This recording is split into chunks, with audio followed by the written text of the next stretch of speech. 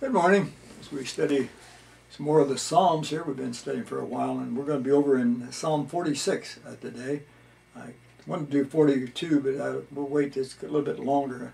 46 isn't quite that long, so we'll try to cover it in the next couple days. But it talks about the presence of God in calamity.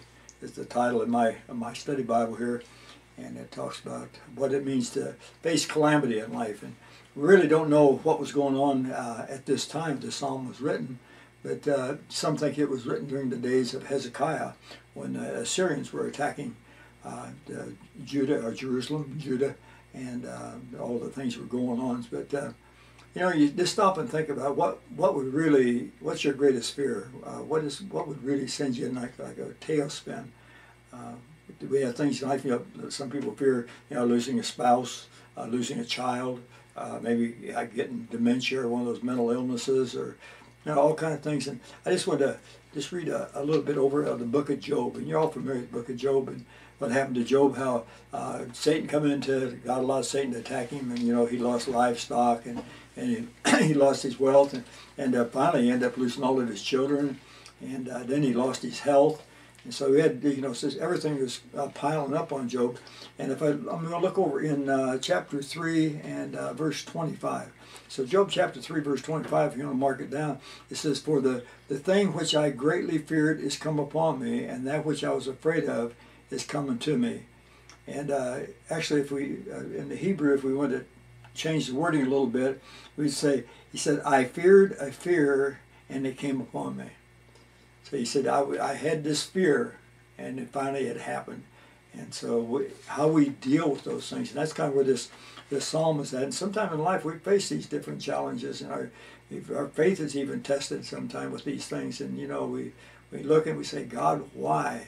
So this, this psalm here is written, and it kind of gives us a, um, uh, a place to go.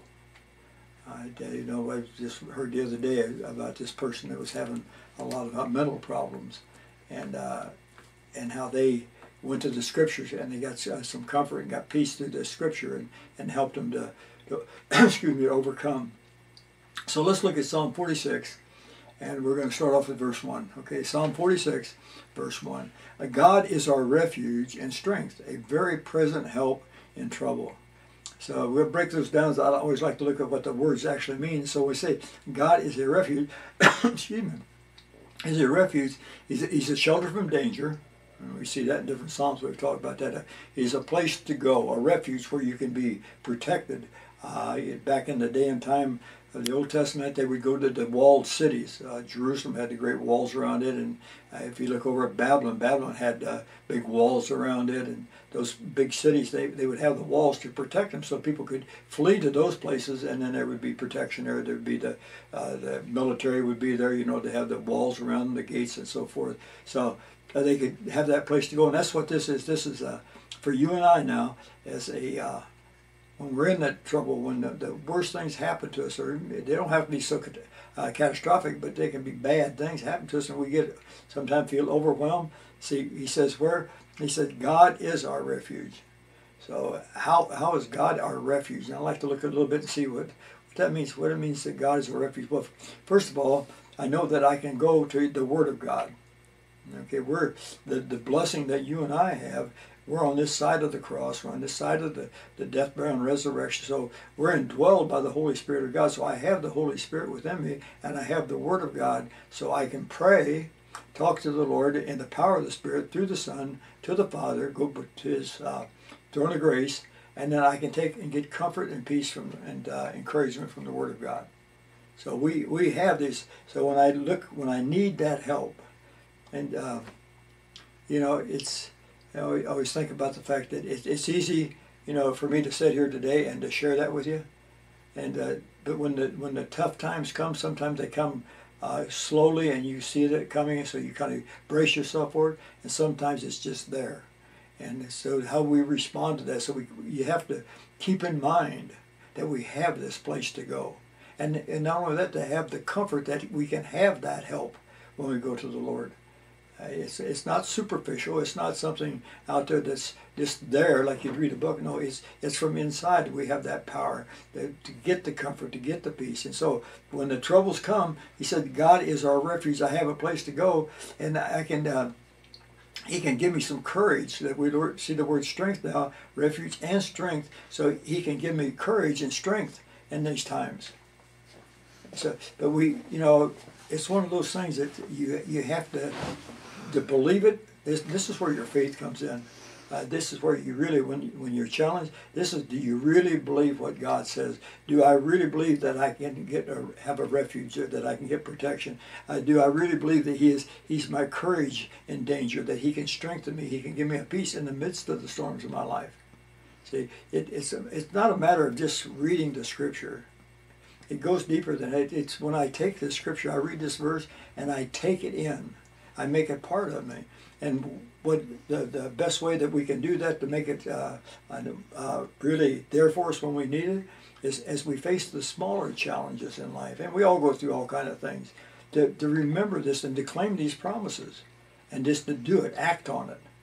You know, because uh, maybe maybe you're having trouble at work, and you know job's in jeopardy, or maybe you've just been laid off, and that, that can be a, a, a traumatic experience. But the idea, that a lot of these things aren't aren't devastating there's ways that we get around it, ways we can deal with it. But we still can go to God for the place of refuge and strength to help us get through those times. He goes a little bit further here. He says, and he's a, a very, listen, a very present help.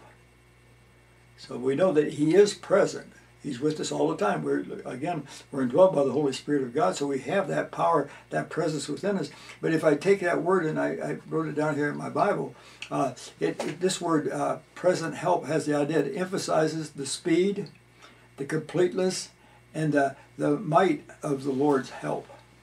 See, it's the speed, the completeness, and the, the help. is right there. When I need it, it's right there. Uh, the word trouble that we see there right after that, trouble means it's a, um, uh, how do I say, it means that you're, you're closed in. It's like you're being pressed in from all sides. You ever get that feeling where he's overwhelmed? And so he, just this one verse, we can see here that we have a place that we can go for, for a refuge. We have a place that we can go to get strength. We have a place to go to, that I can get help when I'm in that place and when I feel like I'm being overwhelmed. And so if you ever have that have that problem, if you're that position, uh, remember this verse. Remember these verses. We're going to be covering some more of this. But as you look at these verses, and not only uh, I, I say claim it, and I hate to say it like that, but you know, make it real to you. Make the verse like this little verse right here. It's very small, uh, few words, but it's got so much in it to help us when we're in a distress. But first of all, what you have to do, you have to know Christ as your Savior, don't you?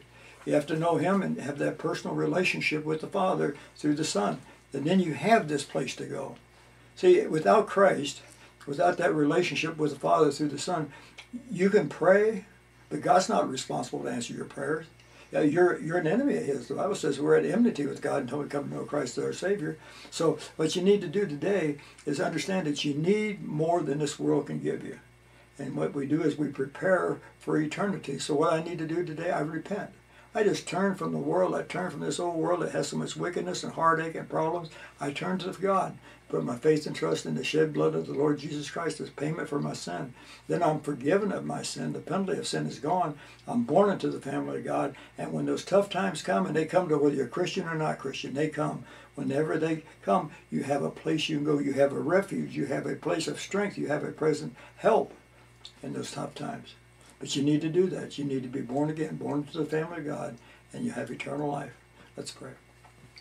Heavenly Father, we do thank you for this day and for this time. We pray you will be with each one of us as we walk this pathway of life. We pray we will be found faithful. And Lord, that we not forget uh, your word and when we face those hard times in life, that we not uh, panic or, or give up, but we stand firm, Lord, in your word. And these kind of words that you give us right here in this psalm are good words. They're true words, Lord, and we can count on them. For those that don't know Christ, we pray this would be the day, Lord, that truly be the day they would repent and put their faith in Christ. He paid the price. He went through all the work. He shed his blood. The work has been done. Uh, everything is ready. All they need to do is turn to you and put their faith in Jesus, and they'll have eternal life. We thank you for what you're going to do. For in Jesus' name, amen.